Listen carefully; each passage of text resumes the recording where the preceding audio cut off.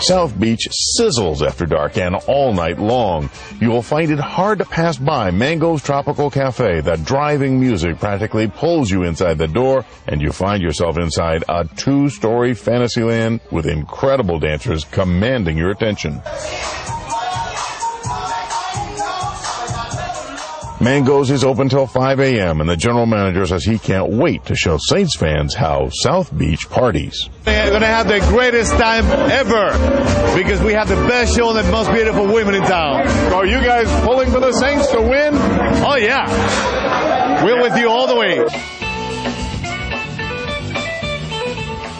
Ocean Drive is one long promenade, a festival of stores and restaurants with menus featuring an amazing array of recipes. Nothing is ordinary here. Even the drinks explode in sparkling showers. We're, we're from Atlanta, but we're rooting for the Saints because he's from Biloxi, so he grew up with the Saints. Yeah. Can you believe they're in the Super Bowl? Yes, I can believe it's about time.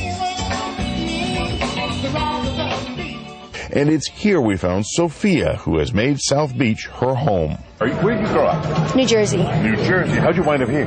My parents got divorced, thank God.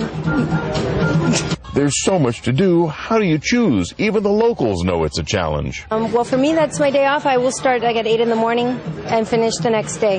And there'll be plenty of people around you. There will definitely be people around here. This is this is crazy. This is nothing. It's- They have the streets closed off. The fans are everywhere. They got stores. This is crazy. There's lots of drinking, there's lots of partying, and you know, with uh, Super Bowl coming in, th- there's a lot of celebrities. But Robert and Barbara Hopkins found the most fun is trying to find the time and energy to experience it all. Oh, oh, beautiful time. we, here. we, been, we came down for the Pro Bowl, and so we, we're partying, so we're enjoying everything here. How much is there to do? How late did the party go?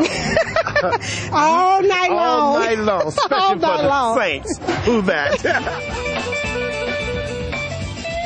And if that is not enough excitement for you, well, everybody who lives here and works here tells me they're waiting for the big Super Bowl party sponsored by the NFL that will be out on the beach.